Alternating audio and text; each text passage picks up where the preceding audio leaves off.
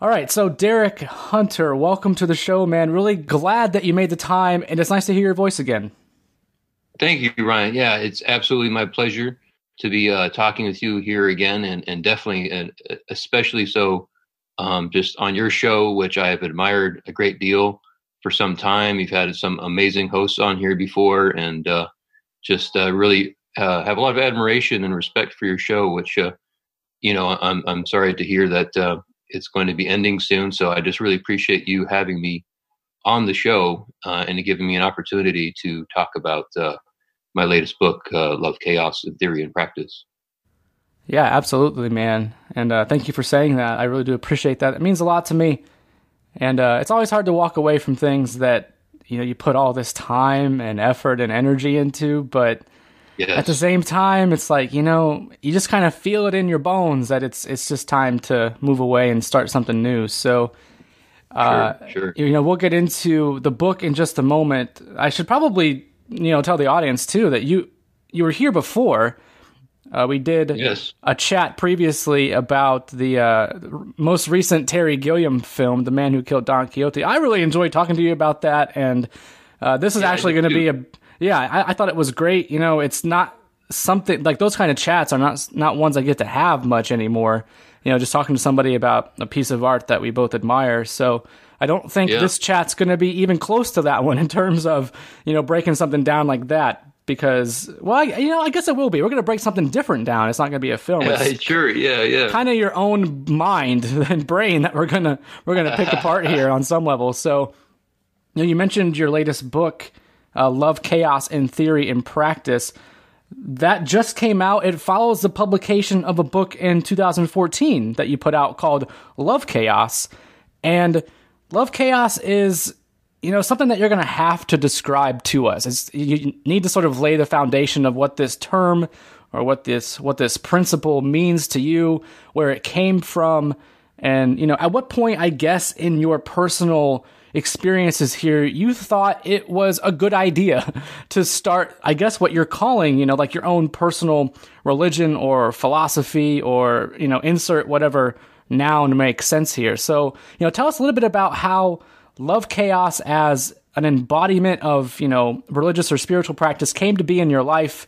You know where were you when you when you thought about this and and why did you want to to write these books to begin with i guess yeah sure um, well i think it's really important to know that when i first started love chaos in in 2014 it was something that came out of a time a really dark time in my life um, you know that the 12 steppers, people who go to 12 step meetings, they call a point uh, what's called rock bottom uh, in their life when the, uh, through their addiction to whatever it may be, alcohol or drugs or whatever, uh, they hit a, a, certain, like a low, like the lowest point. And for each person, that low point can be different. Um, some people, it could be as low as uh, losing a loved one or, or actually taking another person's life or going to prison for for decades or the rest of their life or you know each person has a different low some people's you know rock bottom could be um, just having health issues with whatever problem that they have um, i won't go into all the details of my life but basically in 2014 you know through a lot of substance abuse issues to to not only alcohol but to hard drugs um, for a number of years and and and a certain lifestyle that was associated with that which was a very um, romanticized notion of what it meant to be an artist because I was, a, you know, pretty much for my whole life, a, either a writer or before that a filmmaker, and just and before that an an artist, you know, with, with drawings and painting. And I've always been a very creative person, and my, my creativity was was strongly attached to substance.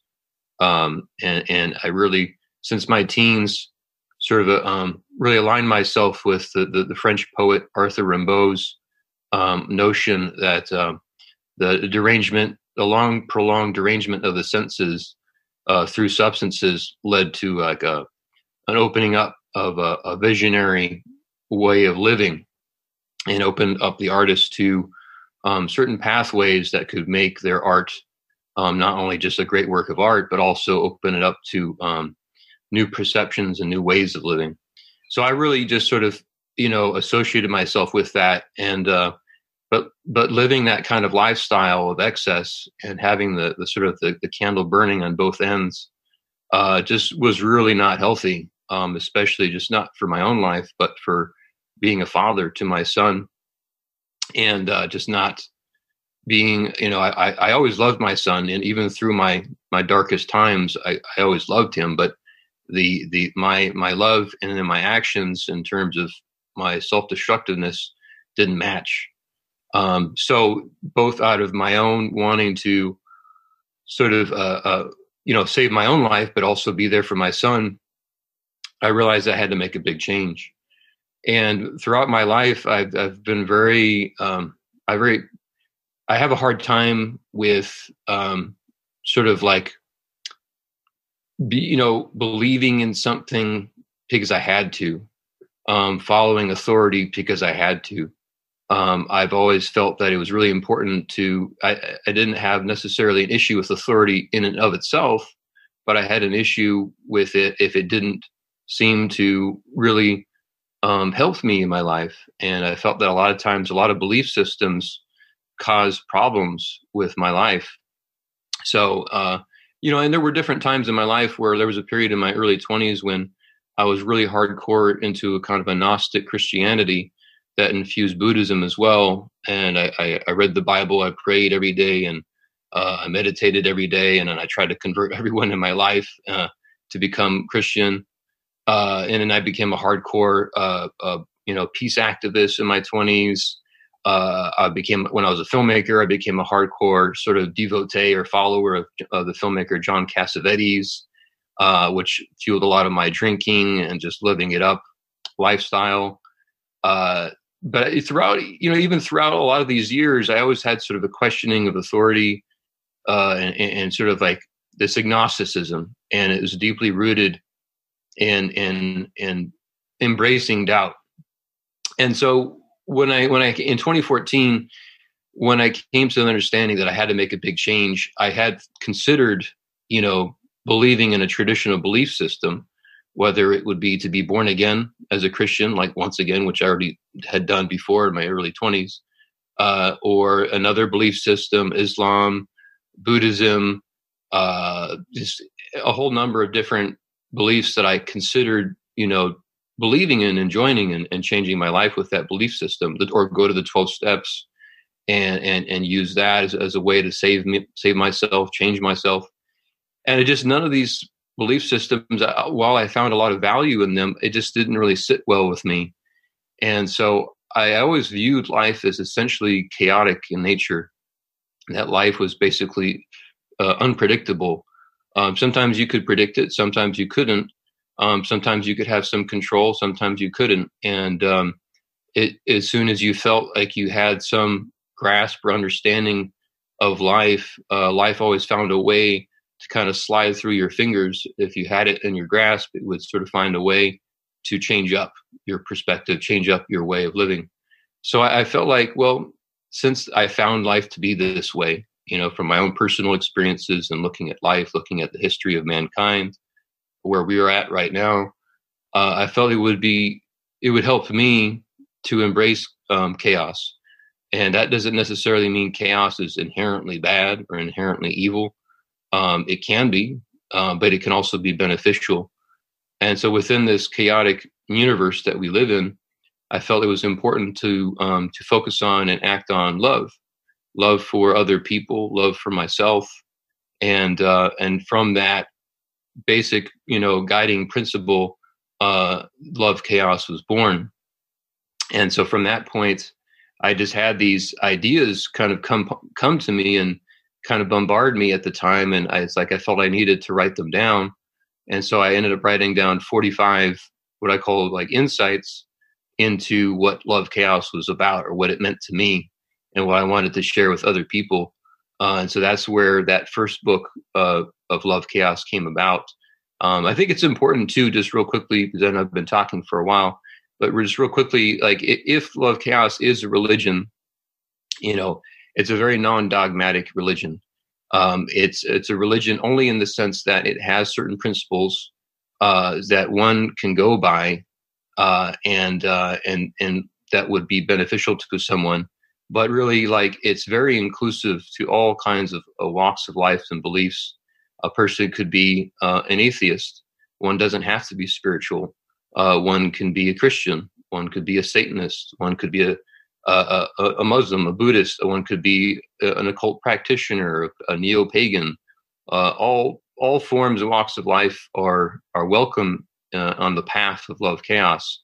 The key sort of elements, though, is that people must have doubt about their belief systems uh, and be willing to accept or, or have a, at least a small portion of their beliefs feel that um, they might be wrong, um, that perhaps uh, what they believe in is not necessar- necessarily the way things are, and just being willing to be okay with doubt. And so that was sort of the beginning of love chaos and there's a lot more to it but i'll just i'll i'll end there for now well i mean you're more than welcome to keep going man so i want to hear you talk i don't i don't have to say much but you know the, yeah it's a it's it was an interesting journey for you to to get to that point i didn't obviously know a lot of what you were talking about in terms of you know your own battles here your own internal struggles we all have them they come in different right. shapes and sizes and flavors, obviously. And you know, I've talked on the show many times about how I came into the occult, and don't need to rehash that. But it was during a similar phase, you know, just this really sort of low, you know, depressed state, uh, low self esteem, low self confidence, things like that. Just trying to find answers, you know, in something. So, you know, sure, sure. and love chaos is obviously, you know, it's a play on words.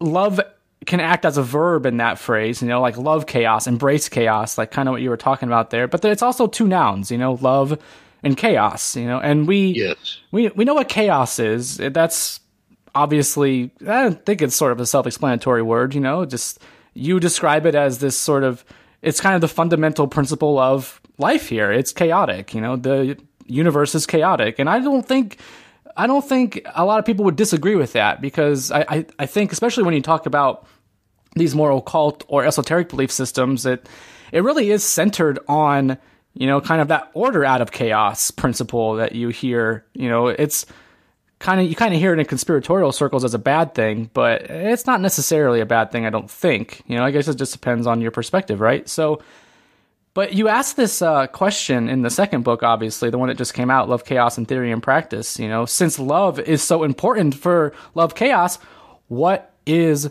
love? And I think we need to define that from your perspective. What is love, Derek? Yeah, sure. I think it's really important to know that, um, you know, I think like what I, I mentioned in the book, like it definitely isn't isn't owned like this. Love isn't owned by by Christianity. It's not owned by John Lennon. It's not owned by the hippies. It's not owned by anyone, you know. And I really wanted to make it clear in the book that uh, a, a Satanist could have just as much love in their life as a Christian. An atheist could have just as much love in their life as uh, as uh, some New Age spiritualist. You know, um, I think that a lot of times people get hung up on labels, and they feel, you know, whether you know I practice white magic or I practice black magic, and I really feel like people's actions in life and their intentions in life are really what determines on how much love someone is is is um, focusing their energy on and their and their actions on. And um, for me, you know, love is very. It has to be very um, much about you know having compassion for yourself, having compassion for other people, having concern for other people, being very passionate about life, about about our own lives, about other people's lives, not taking it for granted, um, understanding that whatever we have, this life is is what we're living right here, right now, and uh, to not throw it away. Um, and in, you know, I think a lot of times, you know, if we really want to be sincere about the love that we're giving to other people or to ourselves, we really should have like a deep love um, for humanity or for existence itself. Um, and I think that a lot of times people get stuck on certain notions or certain labels of what what love is, and it, it can get in the way of their actually living out love. And um, I think it's also important to know that love is messy. Um, it's not clean, um, or it can be clean sometimes, but um, it can be messy too. Um, and I think it's it's you know not giving up on love is is a really true deep love. Um, consistently being there for people, uh, consistently being there for yourself. You know, um, and, and and love has a lot of different ways of expressing itself. You know, uh, when I when my son was born, you know that moment to me was the was the most beautiful moment of my life, and to to see him, you know, coming holding his mother's hand, being by her side. Uh, it was a C-section, so I couldn't see him coming out. They had it blocked, but just hearing as they were cutting away at the layers of her stomach, and then and hearing his screaming coming through her her, her tummy, and then just being pulled out and covered in blood and ooze and all this other stuff. It was just so overwhelming, and it was just like um, such an intense feeling of love. Um, it was it was like to me, it was a love for something outside of myself and a love of myself too, because as you know, when we have children, it's an extension of ourselves. Um, and I think in some ways, like that kind of love that we have for our kids, for us as parents, um, maybe it's not necessarily required that we have that same kind of love for everybody but that's that i think there should be some kind of element there that is similar in the sense that when we love our kids we're loving something or someone outside of ourselves but we're also loving a part of us.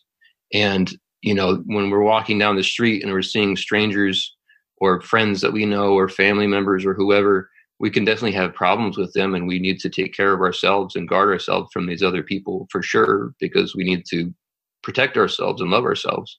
But i think there, there has to be somewhere deep down this understanding that there is some kind of connection you know it it it, it may be just purely uh, uh, you know it doesn't have to be some kind of spiritual thing like again i'm not promoting uh, some what love chaos has to be spiritual. It could, you know, someone could be completely materialistic and still practice love chaos.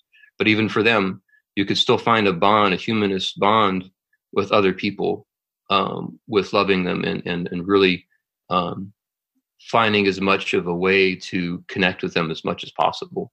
So you know, I think a lot of love is is, is a living out of it and and and and, and acting it out in day to day living. I think that's where you'll find uh, a real deep sense of love. Um, and so that to me is where love is is at its most important.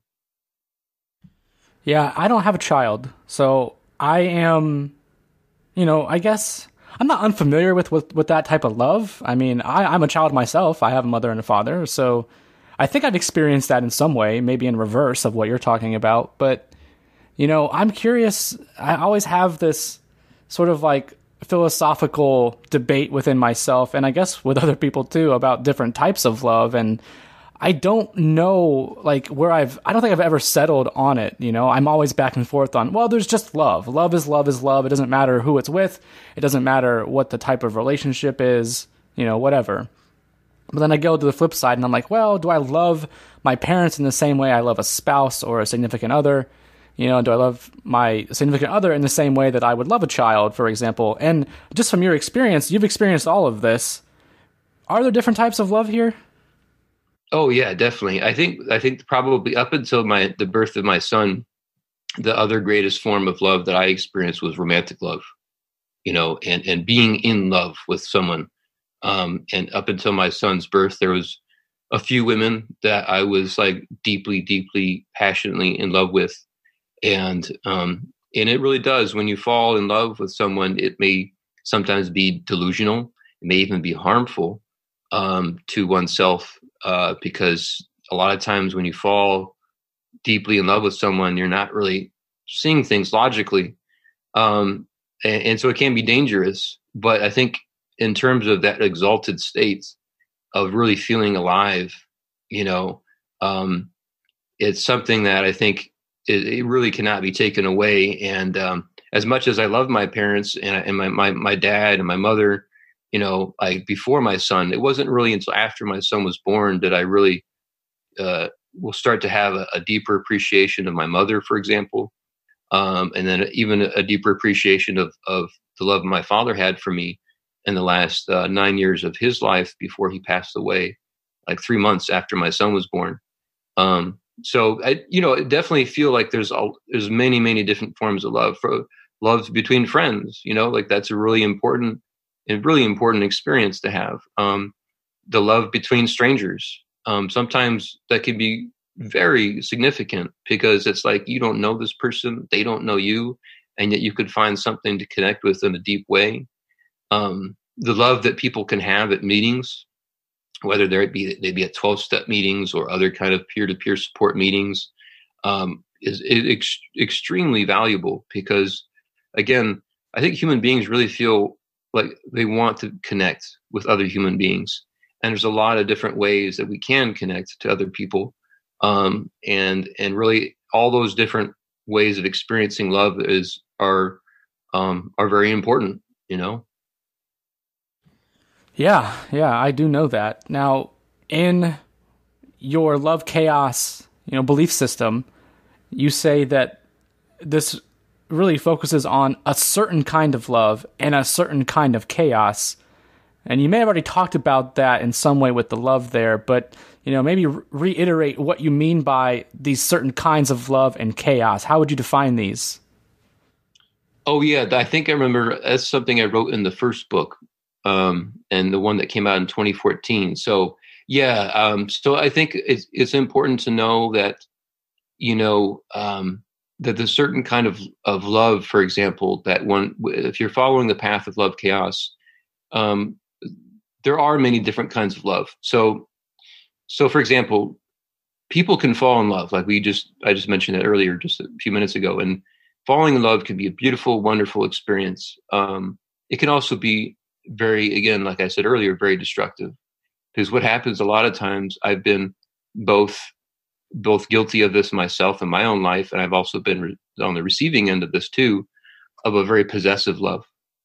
Um, I've seen romantic love as beautiful as it can be turned into one of the most harmful and destructive um, experiences that one can have, and it's really sad.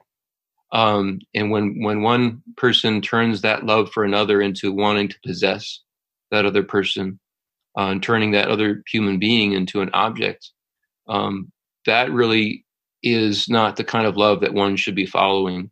You know, in in love chaos.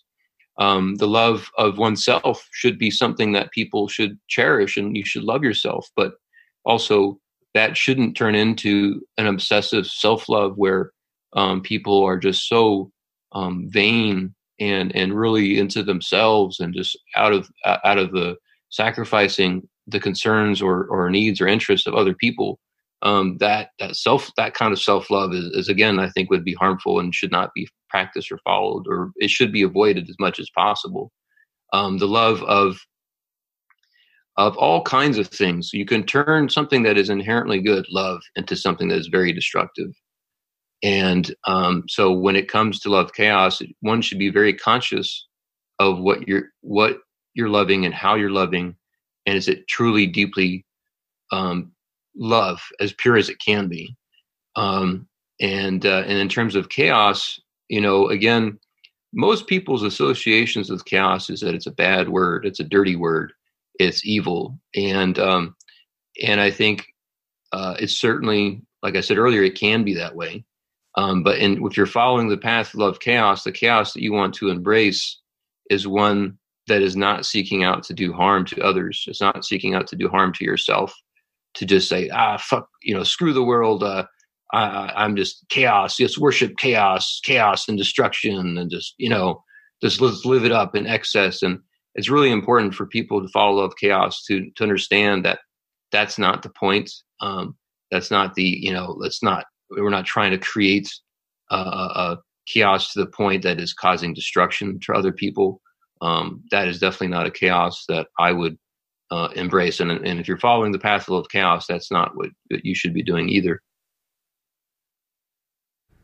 Yeah. So wait, so what's this particular kind of chaos that you're talking about too? Is did we touch on that? So uh, yeah, sure. It would be it would be basically. I think one of the one of the key ways to, to understand how this particular way of chaos that could be beneficial to people is doubt.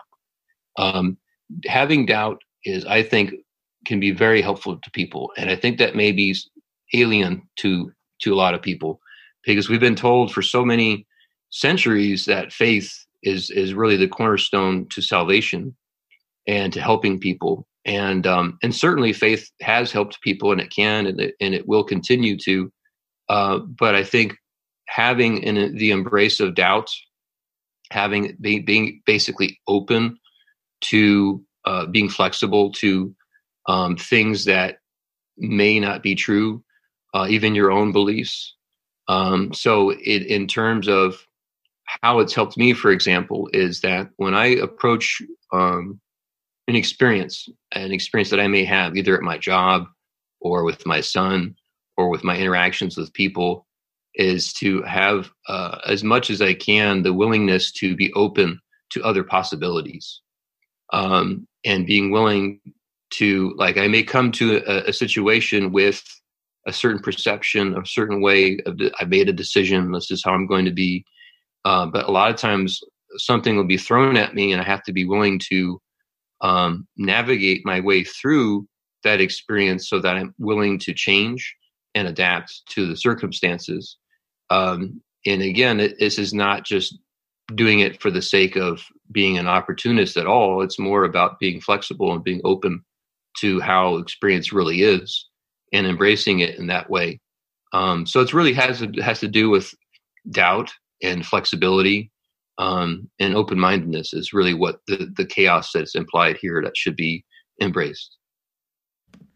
Yeah, I myself, uh, you know, I mean, I'm, I, I hate to say this, I, I'm not following this belief system that you've laid out here, you know, in the way that you've like laid it out, but I am in a way too, you know, like I, it, it's funny, like when I was reading through both books, I was like, oh yeah, like this is kind of how I think, and this is kind of how I feel, this is kind of how I behave, or you know, I guess want to behave. You know, maybe I'm not fully there yet in some areas, but it's definitely like it resonates with me. So, you know, something else that resonates with me is you you say like there are foundational philosophical concepts of this that we haven't yet touched on and one of them is that you say this in the first book and then you also talk about it a bit in the second book but that this love chaos belief system doesn't see spirituality as divorced from emotions and the five senses, and that the mind is just one of several aspects. And I, I love that because I think it's one of those things that get lost when you are talking about a spiritual or a religious belief system is that you tend to almost disregard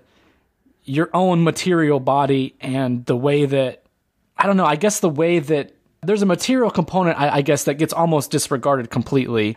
And Sure. you kind of yeah. can lose sight of taking care of your physical body because you're too focused on maybe like spiritual practices or beliefs that you know don't really enhance your experience here right now in the present moment so right. you know where where do you like i guess how do you blend the two together in this belief system so that it is sort of on equal footing?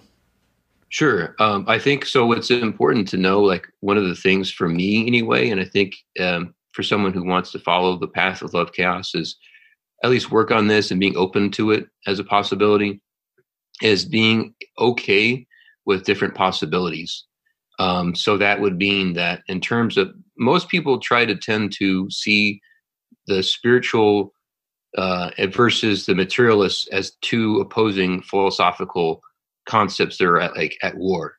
And you see that a lot in a lot of different, not just in the occult world, but in a lot in the New Age world and a lot of different uh, religious institutions and so forth, and as to show that there's somehow the materialist vision and the spiritual vision are at, are at war, in conflict, and um, and I, and I don't think they necessarily have to be true. I'm okay with having the universe being just completely explainable in materialist terms. I'm fine with that, you know, but I'm also fine with the fact, with the possibility that that may be not true, that, that there might be a spiritual dimension to this existence that we're living in. There may be something beyond what we're experiencing with our five senses. And so it, it, it's important for me to be okay with either one, or perhaps that they're both, in some weird kind of way, they both might be true. Um, so, but in terms of how that applies to my day to day living, it's really important. I think that um, we take care of our bodies. Uh, we have to understand that, uh, like, so like I go to the gym. I go to the gym four times a week. Um, you know, I have I I, I do have a, te- a tendency to have an, an addictive personality. So when I do something, I, I go all the way. So like I with my with that, you know, um, I, I I love going to the gym. It's it is kind of it's an addiction to me for me, and I, I love going there. I, I, my prime focus is to to burn calories. I've lost a lot of weight in the last year, and and I feel great. I, I get the natural high from going to the gym and sweating it out, burning all those calories, and it feels fantastic. You know, and um, to be going to the gym with all these other people with the same purpose there, or some people to build muscle. Uh, for me, I'm not really interested in building muscle. Um, I'm just interested in keeping the weight off. And as a middle aged man, that's what I have to do. Um, but uh, you know, I, I really like to take care of myself uh, physically. You know, and and part of that for me, because of my substance abuse issues of my past, that meant, has meant abstaining from not just hard drugs and, and weed, but also alcohol too, and cigarettes. I had to quit cigarettes. I had to quit alcohol. Um, I had to uh, um, even quit ca- uh, not caffeine. I drink. I do enjoy and love tea, but I I, I don't drink coffee anymore, and uh, I feel great. And I feel like that taking care of my body has been really beneficial to my mental state, my psychological state, and if it does exist, because again I'm ag- agnostic. If I have a soul, it seems that it, it definitely seems to be helping my soul as well. So there and just really just you know really experiential terms day-to-day living I, I found that the two together can can work in harmony well as they should right i mean i, I think we're, yeah. we're we're blending here the spiritual and the material to find that balance and to be honest like this is man i'm gonna go on a, maybe a bit of a rant here but this is sure. the one one thing that I have a problem with, or maybe not the one thing, but the major thing I have a problem with when I have gotten into these conversations with occultists or new age mysticists or whatever. I mean, even I guess some, you know, traditional religious types, you know, is like this this constant focus on the ethereal or you know like the afterlife uh, just this like this place that we don't even really know if it exists. Like like you just said you're agnostic and you don't even know if you have a soul. But if you do then you assume that what you're doing here now is helping that. And i and i would agree. I, I don't know if we have a soul. I don't know what the word spirit really refers to anymore. I don't know what exists beyond here and now and I'm t- and I just got tired of focusing on that. You know, like I've been down this path, this rabbit hole for years now, and I'm just like, ah, I have neglected myself in some way. Like my physical self has has like be- become, you know, sort of out of shape, and I just I haven't felt well. And I was I was searching for answers outside of me, outside of the present moment, outside of my body, even, and it didn't make me feel good, you know? It didn't make me feel like I was enjoying life, which is this precious, precious gift that we have to just be here like now, breathing and and being able to, you know, find love or embrace chaos, you know, and it's just like I just got so almost like resentful and bitter towards these sorts of belief systems. So the the fact that what you wrote here resonated with me because you did not neglect this part of the experience. I really enjoy that. And I just wanted to point that out for the audience here. And, you know, some of the other foundational uh, philosophical concepts for love chaos, you know, I just want to touch on them here briefly. Sure. And just, ha- yeah. and just have you talk about them. But I just pulled out two because they are a big part of my life. And uh, one of them you know, let's start with this sex. You know, sex is one of those things. It's a physical act that we all enjoy. You know, let's not kid ourselves here. We all enjoy sure. having sex with each other, maybe with ourselves or whatever. So, yeah. you know, how do you in this belief system view sex or the act of sex?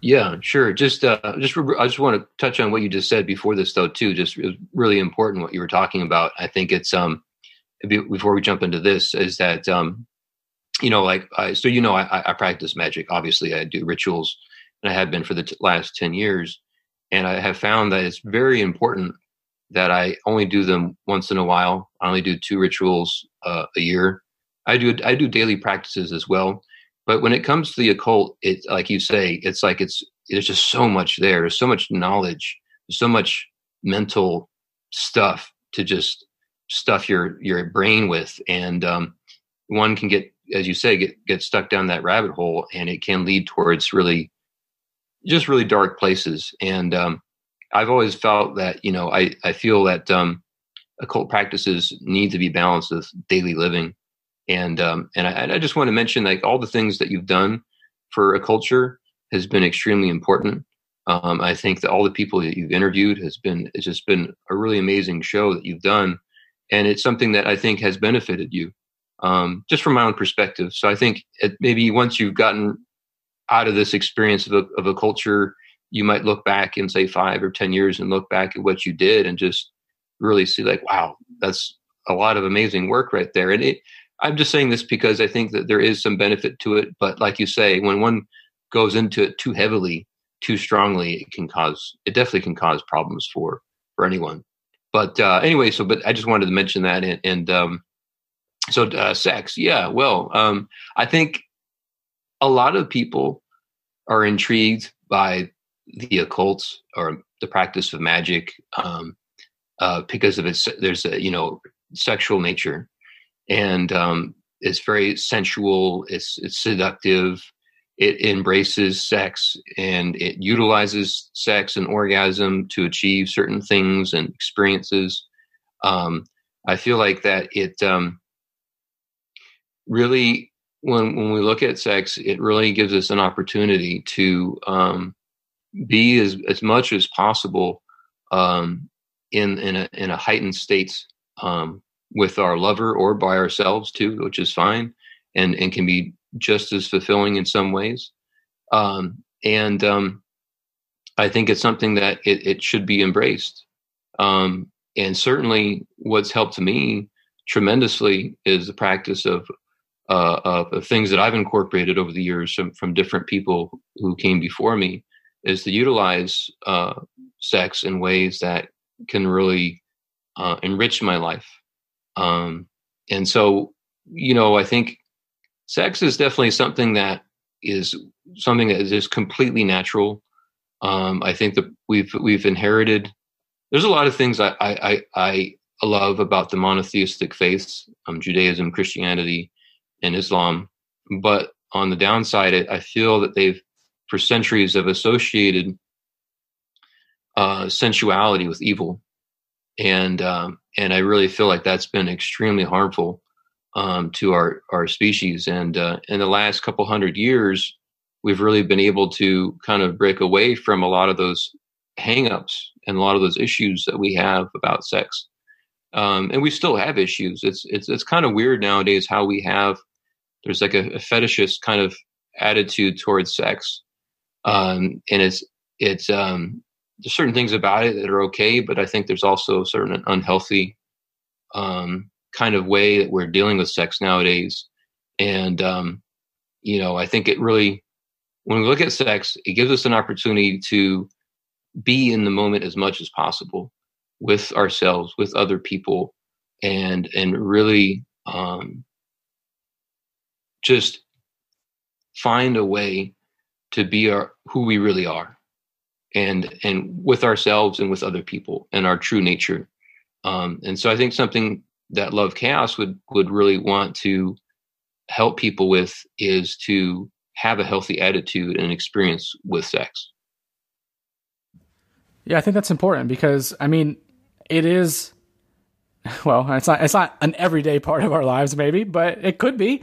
And it is yeah. a very important part of our lives because, you know, one, I guess just on a very sort of uh, utilitarian level, it, it's the proliferation of our species, right? Like it, it is the base act on how right. we recreate each other, you know, like in a way. So it's important, I guess, to have a healthy relationship with that act. It's also, you know, I mean, because of that, it's an act of creation, you know, and thus I think a work of art. You know, I guess if you know how to do it well, maybe. I've sure people out there have had some experiences that were not so artistic, you know, but it can be, you know, and I think we look right. at that as a that that's a positive thing, you know, like sex is meant to be enjoyed. It's also, you know, meant to create something, whether that's another human life or whether that's just an orgasm. Like it's meant to create something inside of you that is meant to be experienced and meant to be enjoyed. And it's right. it's not this like, you know, sort of evil, devilish act that, you know, maybe some belief systems might impress upon it, but you know, I just think that it's important to have a healthy relationship with it because we've seen people i'm sure we all know people who have unhealthy you know sort of experiences in those areas and the, their relationship with the act of sex is is addictive you know like there are sex right. addicts there are there are porn addicts and man they really really really like you know porn's free for a reason right it's meant to get you addicted and it's meant to sort of i guess almost destroy that experience for you you know it's just like how you know if you're an alcoholic it actually destroys the experience of just enjoying a nice glass of wine sometimes, which can be beneficial for your health in some ways, you know?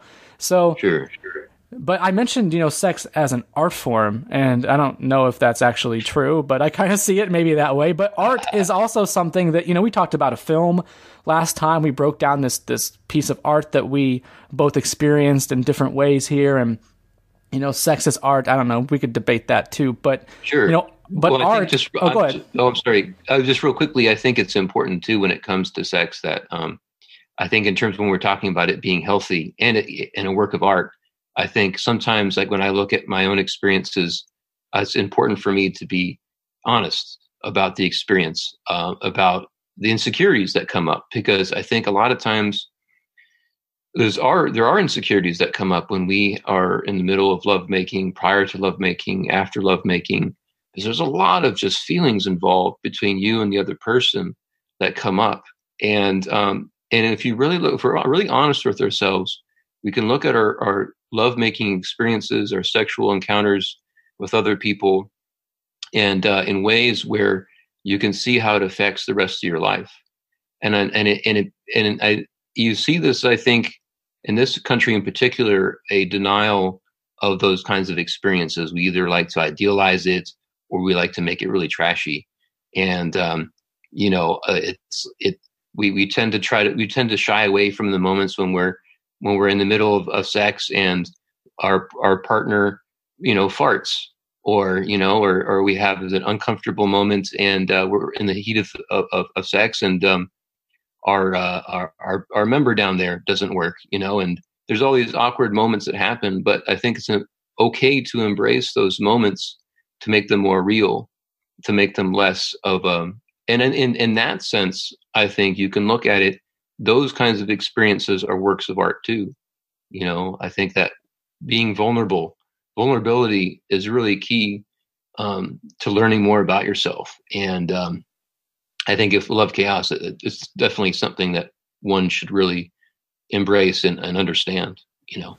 Yeah, and those experiences that you just described, I mean, those are the random chaotic moments, you know, right. in those like in that environment. So it, eh, there's nothing wrong with it, you know, like you said. Like sometimes exactly. it's not going to go the way that you planned. Like let's just that's right. life in general. So there's not going right. to be perfect moments, you know, and I know that there are you know, some people who get frustrated with themselves if in those sexual environments that they can't perform to the level that they would like. But the thing is, is like you have to embrace that part of yourself. Like, the, like you are not perfect. You are insecure, exactly. and love your approach to the the insecurity. Which I do have a question on actually, uh, but sure. I want to get I, I want to get back to the art for a moment because that's another that's another foundational philosophical concept that you talk about in the books. And you know how do you view art in this love chaos belief system too? Yeah well i, I think it's really important that um, i think that re- for me uh, and i think it'd be good if, if other people saw themselves this way too um, is that your own life is a work of art and uh, if you look at your experiences your past experiences the experiences you currently are in the middle of right now your future experiences that you are in the process of of creating a life that is a work of art. And again, it doesn't mean it has to be perfect. It doesn't mean it has to be some idealized state. Because I think again, like really a lot of times, you know, some great works of art are have imperfections. It has different things about it that creates um, you know, some kind of ambiguity, some kind of uncertainty. Um, but I think it would help people, even if you if one doesn't feel like they have any creativity in their body at all, in their mind, and you know uh, they are a um, a doctor a lawyer, a, uh, an engineer, or uh, you know whatever it may be that one is that you feel like, well, I don't, I'm not creative. How could I turn my life into a work of art? Um, I think you can even still have your life turn into a work of art, you know, and um, you can just find ways to make your life poignant because I think really, like really truly beautiful works of art have some poignancy to them, some sublimity, some moments of sublime, ex- exalted states.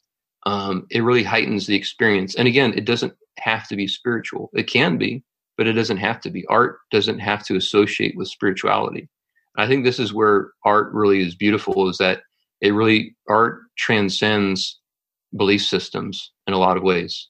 And um, really, the really great works of art uh, do that. You know, whether it's a, a, play by William Shakespeare or a piece of music by Beethoven or Mozart or a painting by Picasso, um, their greatness lies not necessarily in their belief system, but in what they're expressing. You know, and um, I think that can be something that everyone can embrace in their own life. I would agree with that. And, you know, there's an artist here that you reference as, you know, a, major influence over your life here. And I guess what Love Chaos came to be. And you mentioned him in a group of, of other people. You called these guys four great thinkers and livers of life. And you mentioned Aleister Crowley, uh, who I've talked about with other people at length here, so we don't need to go too much into him. Uh, you mentioned Robert Anton Wilson, uh, same, you know, talked about him a few times, don't need to go into that. Um, you mentioned Austin Osman Spare. He's only come up a couple of times and uh, probably should have devoted more time to his work in this this area. And feel free to talk about him if you'd like. But the one guy I really am interested in that you mentioned with this group is the French uh, writer Albert Camus. And mm-hmm. I have not read all of his work. I've read a few of his novels, uh, many of his short stories, and uh, The Stranger was the first book of his I read in college. Actually, it was assigned to me uh, in a class I was in, and man, what a what an existential masterpiece that is. But I, I am curious, like, what it is about Camus that has influenced you, because he's not a name that pops up on this show or others like it very much or at all. Sure. So I'm just I'm just right. interested, like, what about Camus' writing or work or life experiences impacted you here? Sure. I think out of those four people, um, Camus is actually the one that I encountered uh, the earliest. Um, you know, I, I, I, didn't really get into the occult until about a little over 10 years ago. Um, I um, was always, not always, uh, for the most part, was very skeptical about things, very agnostic about things. And um, the occult world, astrology, you know, tarot readings, all that. I, I, used to think it was all bullshit. You know, I used to think it was just a bunch of hogwash. And um, and then I once I started getting into it again, like about 2008 or so, 2009, um, then it changed my perspe- perception on that. And then at that point, I started getting into Crowley and Robert Anton Wilson and and Austin Osman Spare and others too. But um, but way before that, I encountered Albert Camus, and Albert Camus really touched me in a lot of ways um, because you know for me i grew up without a religious belief. My parents didn't raise me with religion. Um, they were fine if i wanted to believe in it but they left it up to me. So throughout my childhood and throughout my teens and into my 20s um, i kind of viewed life as somehow just you know absurd um, it could be really great, and, and, but it just sort of seemed to lack some kind of purpose to it all, you know. And so when I encountered, you know, Albert Camus and you know the Stranger and the Myth of Sisyphus and the Rebel, the Rebel being my favorite of his, uh, and other works by him, it really felt like, wow, this guy is really saying something really meaningful. That essentially, you know, the universe that we live in, and in Albert Camus' philosophy you know, uh, he didn't consider himself an existentialist. I, to me, I think it's fine to call him an existentialist. It's not that different from the existentialist, but basically, he viewed uh, life as inherently absurd, and and pointless. You know, the the the, the myth of Sisyphus is about this guy Sisyphus pushing this big boulder up a hill, and once he reaches the top of this uh, hill, it falls all the way back down the other side of the hill, and he, he has to repeat the same thing over and over again, and it's it's pointless. There's no there's no purpose to his task. There's no purpose to what he's doing. He just he's just doing it, and and, and in that just really simple tale, you know, Camus talks about how that's that's what our lives are like. There really isn't a purpose to what we're doing. There is no real meaning, but we create the meaning. We create some kind of purpose. Um, it's not given to us. We have to create it ourselves. And that really just struck a chord with me. Um, I really felt like that was very powerful stuff.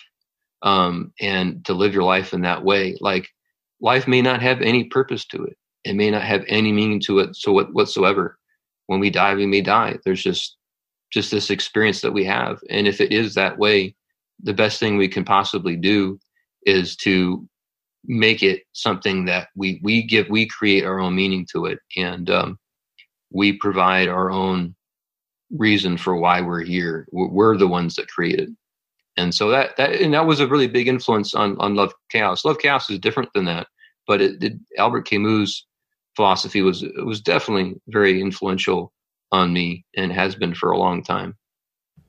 Yeah, and I don't think it's inherently, you know, wrong or negative to see life that way. That there might not be this deep meaning or purpose to our existence here. I think we like to think that, and something that I've talked about with somebody else recently too. This that like maybe the the hubris of being human is that you know we we think these things about ourselves and our experience here that it's just so you know, sort of different than other living creatures on this earth. And it, it might not be, you know, like I don't think financial slavery is, you know, I don't think that that is this great experience, which you know, a lot of us are living through right now. And, you know, like right. trying to, trying to like, you know, sort of exert our power or influence over one another. Like that's not love. That's just, you know, sort of, I don't know. It's just fucking mean, to be honest. Right. So, I, I think that a lot of people who are into um, spirituality, who have a religious faith, who are into the occults, who are into have these really strong beliefs. I think in it that there's a real deep purpose to it all.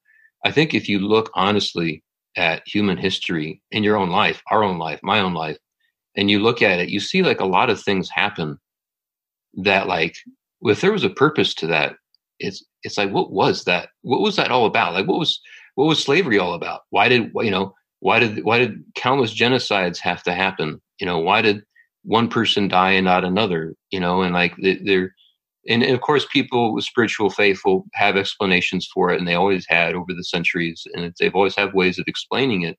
But it, it i think you really you know there's an aspect to ourselves that i think is a little unsettled with existence you know? And you, you, it's a little unsettling when you look at life and you look at all the things that take place in life all the heartbreak that takes place and a lot of times it doesn't really seem to serve a purpose you know um, i think it's important you know maybe life does have a purpose to it. Maybe it does but i think there's a lot there's a lot of questions i think that if people were honest with themselves they they would have about life. Yeah i, I remember having a, a conversation with a friend a while back and they had just gotten out of a relationship and they were talking about how well you know the person that i broke up with really needed to have their heart broken. They they'd not experienced that yet. And I was thinking, you know, in the back of my head, like, well, you know, maybe that's true. Like, it, it is important, I think, to to have experiences like that in this life. But to justify like your decision sure. in that way, it's it right. reminds me of like how you know people who do sort of you know have these spiritual belief systems kind of tend to think like it's it's maybe a bit too big picture and a bit too sort of like metaphorical and it, it really does sort of like it's a justification for shitty behavior sometimes. Now, not that you can't end a relationship for whatever reason, but to sort of like veil it in this, well, like, you know, this sort of like life lesson thing. I don't know. That seems kind of bullshit to me, but sure, sure. whatever. So I think it's, I think ahead. that's how, I think that's how uh, nations and, and people have justified enslaving other people. Um, and, and, and dominating and oppressing other people is that they found like, well, I have I have a reason. I'm I'm the chosen. We're the chosen ones, and we uh, we we are serving you know God's purpose or some other purpose. And it just, you, I think you really hit it the nose on the head. It just, it's, it really ultimately is a way to justify, I think. Um, and, you know, there are different reasons for it too. It's complicated, but I think a big part of it is um, justification, you know? Yeah, this actually sort of bleeds well into a part in the second book where you're talking about the psychology of love chaos and you wrote something here that I want to read and then maybe talk about. Um, you wrote that, quote, a vitally important aspect that needs to be dealt with from the beginning and until the end of our lives is the discomfort of living. And you go on to say uh, that the love chaos psychology seeks to help individuals come to terms with their insecurities, which is something that, you know, that we had touched on earlier and that there are ways to live with and accept our discomfort of living, but it means having the willingness to not run away. No amount of running away will make it disappear. It will always be there, but that's okay. This is, you know, part of what it means to be alive. We are insecure. Uh, end quote. And I love that because we have all dealt with our own, you know, insecurities on some level or on a lot of levels. And it's something that we have to overcome to really, you know, truly love ourselves and find success in different areas of our lives. And I'm just I'm really really glad that you put that in there and that that you I guess sort of think and feel the same way, probably from your own experiences as well, right? Oh yeah, definitely. Um, it, it I think that it's it's important to know from from moment to moment. Again, a lot of this is being you know honest with yourself, honest with myself. We're all all of us sort of taking a look at ourselves in terms of what we're feeling um, in any given moment. And if you look at at how you're feeling, you can. There's different degrees of comfort, of of uh, self confidence, of uh, of being secure. That for sure we we definitely experience. We definitely feel secure. We can feel these things for sure. But there is this element of insecurity um, that I think is really important to acknowledge. Um, a lot of a lot of times, we as human beings like to ignore this um, because we want to hang on to something. And that goes back to like this addictive aspect of human beings uh, that we we all tend to find something to latch onto some kind of security that gives us pleasure that makes us feel good that gives us some sense of stability. And um, but really i feel like with real true personal growth is embracing the fact that we have these insecurities and you can then deal with them in a way where you know as you go through your day-to-day experiences you're not going to um, be making decisions that are going to be harmful to other people or or, or yourself. Um, and, and and when you when you embrace insecurity um, it's a, a way of embracing your own humanity and when you embrace your own humanity then you can really truly uh, help other people. I think, um, and, and, when we do that, we're really helping ourselves. Um, but you know, it, in the process of like these last five years of my own, well, coming up on six, um, I found that that's been a, a, key key component to my sort of um, getting better, uh, a recovery, if you want to call it, or rehabilitation, or whatever one wants to call it um, a big key component to my getting better was accepting the fact that I could be insecure, that I could have these feelings that aren't necessarily um, the best for me to have. But I, I, see them there; they're there. I accept them. Uh, I don't want to uh, uh, give them a lot of attention, a lot of time, and a lot of my energy. I, I want to be able to to grow. Um, and so, but you know having that ability to to accept my insecurities and for for all of us to do it in that way i think would really help us as a species um, evolve. I think so too. And i think that if you don't identify or you aren't able to identify what those insecurities are in your own persona or your own character your own life that I mean, they're going to continue to dominate over you. They will continue to dictate to you how you behave, how you treat yourself, how you treat other people.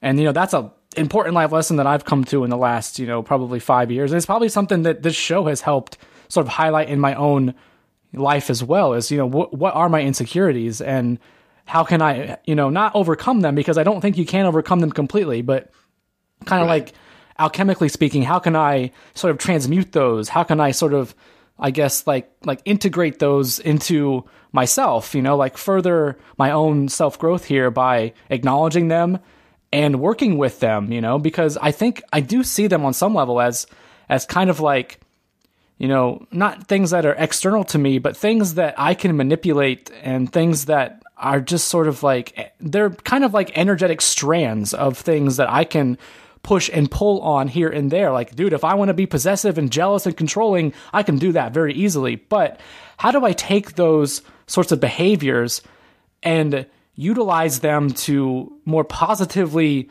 you know, benefit me and to more positively like influence my life and my relationships with other people and myself, you know, because there there are aspects of all these negative traits, you know, like jealousy, you know, that there's something about that that you can utilize as a positive thing, as a positive motivator, you know, but it's not something you want to dip into too much because that's when you become right. addicted to it. You know, you come you become addicted to the behavior of, you know, possessing someone else like you said, your lover or your partner or whoever. And you know, those things right. are are are negative when you go down that sort of immersive path with them, but I think inherently all of these things are neutral and it's just how you utilize them that makes the difference in a positive or a negative experience. Definitely, definitely. And, and I think a lot of times you see people with like extreme belief systems, a lot of it is fueled by insecurities. You know, I think a lot of people who have hatred for other people based on race, based on gender or what have you. Um, a lot of those those those beliefs that these people have are based out of they're somehow insecure themselves. They're not dealing with it in a healthy way. Yeah, I would agree with that. And you know that phrase, use that phrase that I uh, read in that quote a few minutes ago, the discomfort of living. Is there anything more to say about that phrase? Uh, well, I think it, it I, it's something that it's it's important. I think again, as as much as someone becomes enlightened, as some as much as someone becomes aware and conscious, and as much as as other people see a person as being that way, it's important to know that that discomfort of living again will always be with us.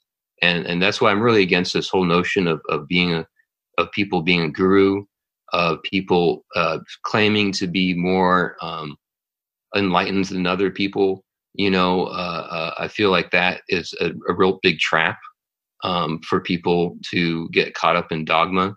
Um, and, and, and really uh, an easy way to fall into controlling other people. And again, it's all based on the fact that people aren't really, truly, honestly coming to terms with this discomfort of living. Hmm. Yeah, I would agree with that too. So, you know, there are, gosh, there's so much in these books, and I have so many you know things I'd love to talk to you about. But I, I think one of the one of the last things I want to chat about here, man, is is this and this kind of goes I think goes with what we were talking about with the insecurities of our lives, the discomfort of of living them here. You and you you actually said this in the first book, so this is not part of the most recent book, but you wrote that lies are important in this love chaos philosophy or belief system or whatever. And I just thought that was really interesting. Why do you think lies are important? Because I think a lot of people would be like, "Well, you shouldn't lie, you know, that's a sin or that's that's not good behavior." But you're sort of again embracing these negative experiences and trying to use them, I guess, in a more positive way. So, what do you think about lying here? Um, well, I think what's important to know is that, like, I, I um, in that first book, I did, I do mention that, but I, I feel that a life lived with dominated by honesty is really the way to go. Um, I think that honesty in our actions, honesty with our feelings, honesty with our thoughts, honesty with other people is really, really important. And that we really true, true liberation, if we can we can call it that, comes from living an honest life as much as possible. But then I think it's important to know that again, there's that much as possible. I think that uh, it's really important to understand that we can't always be honest. We can't always be honest with other people, for example, um, and that the to truly love other people and ourselves, it's important to know that there may be times where we may not be it may not be the best thing to do to reveal certain things. And in that in that sense it could be considered lying.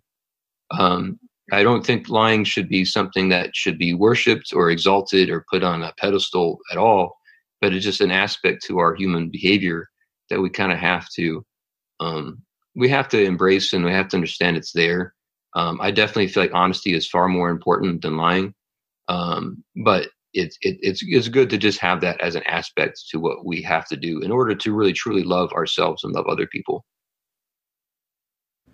Yeah, it was. I don't. I don't know. I guess I brought it up because I was sort of surprised that you worded that the way you did because you you know like you said you you did say uh, it's better to live a life dominated by honesty than lies. I don't think anybody would disagree with that, but you know it kind of goes back to this uh gosh it kind of goes back to the occult you know like i think one of the things that i i uh i don't like about it is that it's all very much accessible now like you're this, this stuff is supposed to be secret or hidden for a reason but i can right. go on i can go on the internet and i can read all about it so how secret right. or hidden right. is it really and i think that like if we if we look at like what a lie is it like there, there's lies where i i can you know, sort of just flat out say that something happened, but it didn't happen, or something that didn't happen did happen, you know?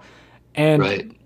But there's also lies of omission, where just not telling somebody something at all. And, you know, sometimes people do that to protect other people, to not hurt their feelings or whatever. But I think at the end of the day, like, like you said, man, it's better to just be honest, especially when it becomes, you know, or, or, I guess especially when you sort of venture into this emotional territory, it's better to just be honest about how you feel or how something makes you feel than it is to you know sort of paint it to be something different. Because whether you realize it or not when when you're emotionally communicating with somebody the way that you articulate how you feel or how you think about something absolutely influences how the other person reacts or behaves from that point on.